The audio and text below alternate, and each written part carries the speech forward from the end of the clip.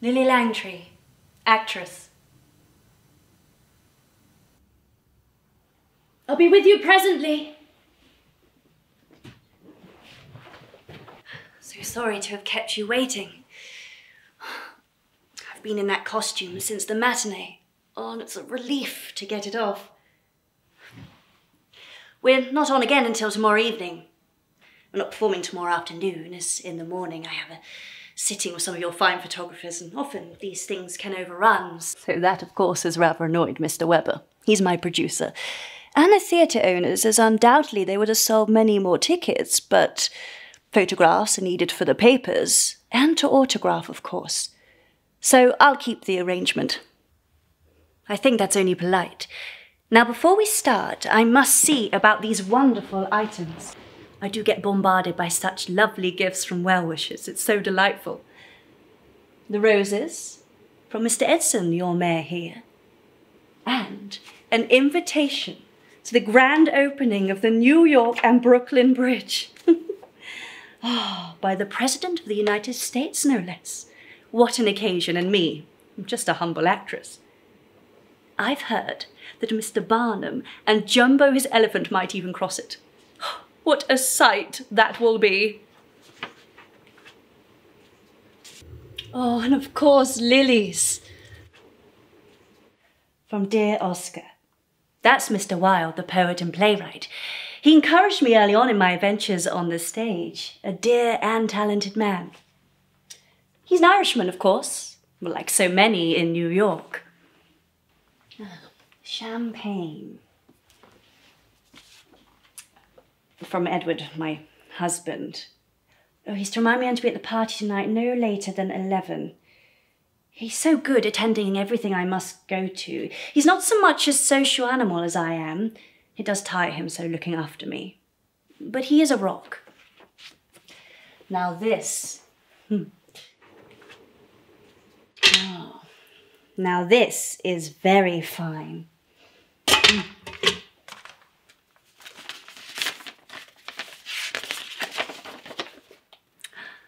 From dear Freddie. A new friend I've met here. He's in steel and railways. Oh, and he's had to go to his ranch.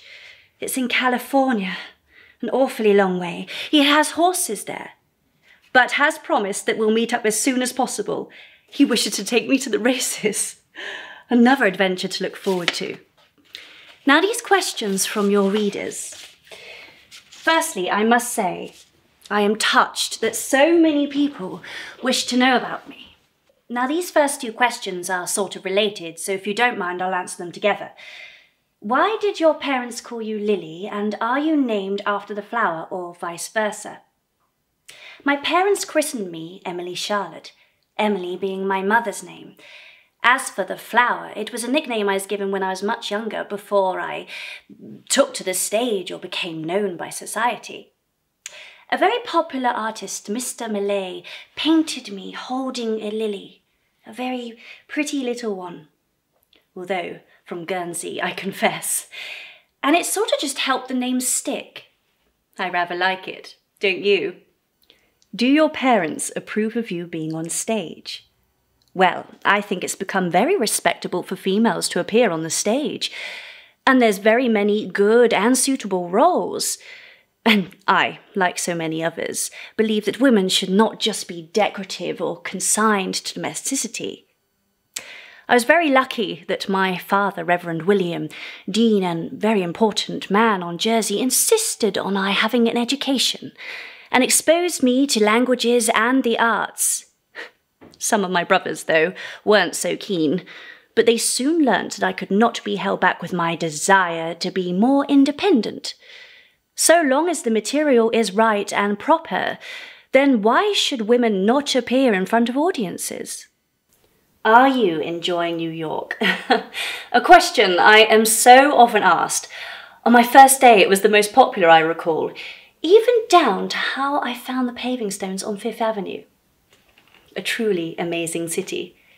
The hotels are so luxurious, the dining wonderful and beautifully laid out with Mr. Edison's new electric lighting, a much safer method than gas.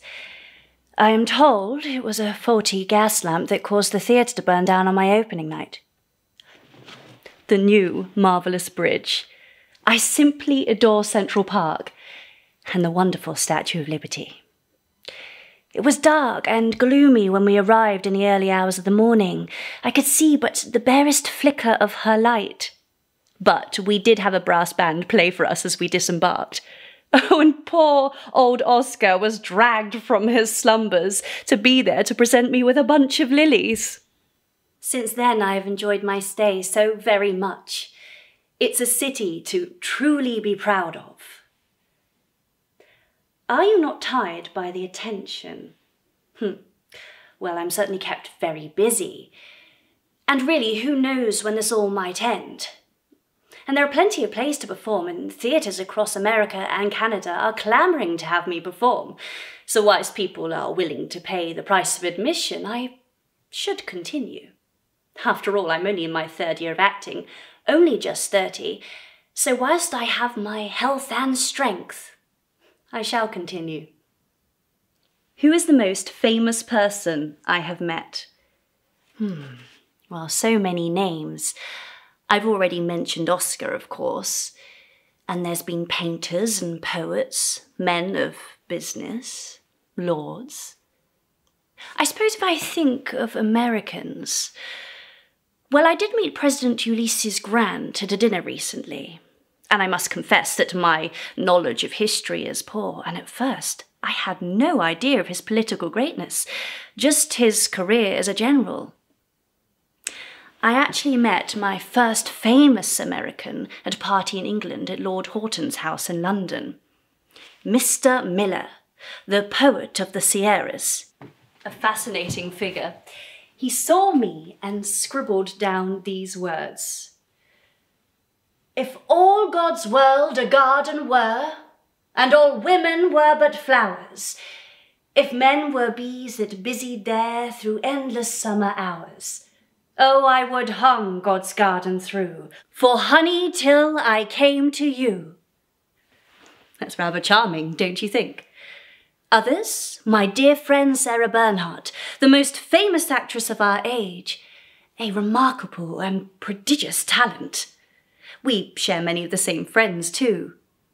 Mr. George Bernard Shaw, the playwright, is charming, as is Mr. Hugo, the French novelist. But it goes without saying that everyone in America is fascinated by our royal family. I am very fortunate to have met many members of Majesty's fine family. Prince Leopold, for instance, so charming and wonderful, her youngest son, a great patron of the arts. He told me he keeps a picture of me on his desk. And, of course, hmm, my dear, dear Bertie.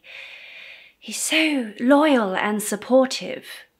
Her oldest son, sorry, I mean Prince Edward, the Prince of Wales. A weekend away, shooting or hunting at one of his homes is a wonderful experience. And the parties he gives? So delightful and simply glittering. But as the question asks, the most famous person, well, that has to be Her Majesty Queen Victoria, of course. I was presented to her at Buckingham Palace. I brought my mother and aunt over to ensure I was dressed perfectly. I didn't want to trust a servant with such a momentous task. I had been told that Her Majesty might not stay for all the presentations, as they can be long and well, arduous.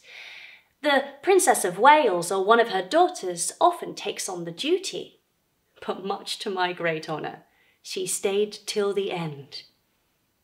I have no doubt that Her Majesty was far more fatigued than I after the many hours the occasion took, but she was so dignified, the very embodiment of majesty.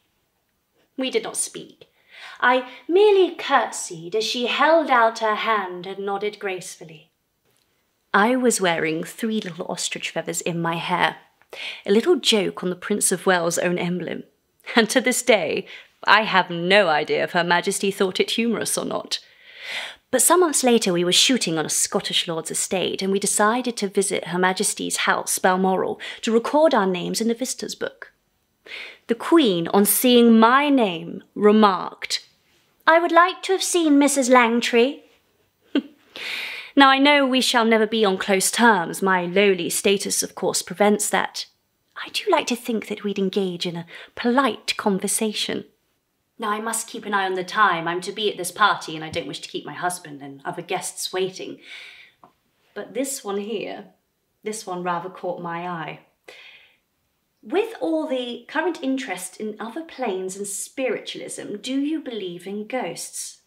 Well, I have attended one of Sarah Bernhardt's seances, and I must say, voices and spirits from the other side, well, they were sadly lacking.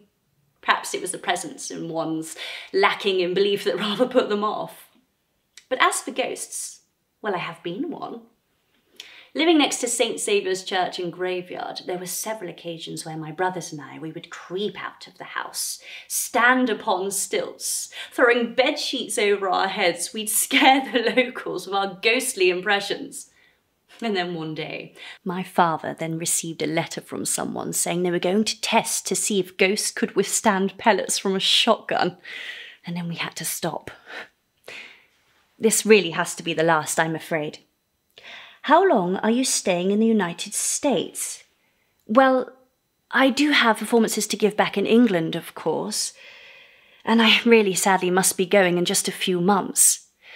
But I do intend to travel and give shows wherever possible.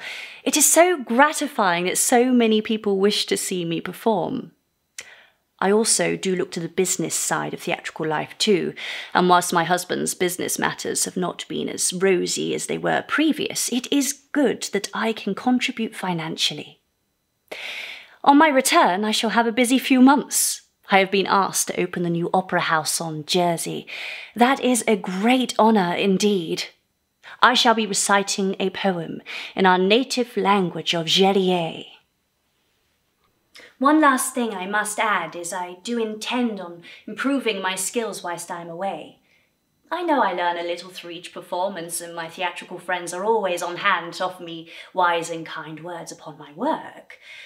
But your readers might like to know that I am soon to attend the Conservatoire in Paris. They've accepted me as a student this summer. So when I return as a more accomplished actress, I shall be far more worthy of all this applause which I'm getting and for which I'm already so grateful. now, I really must be getting changed and ready. The carriage will be here at any moment. I do look forward to reading your articles shortly.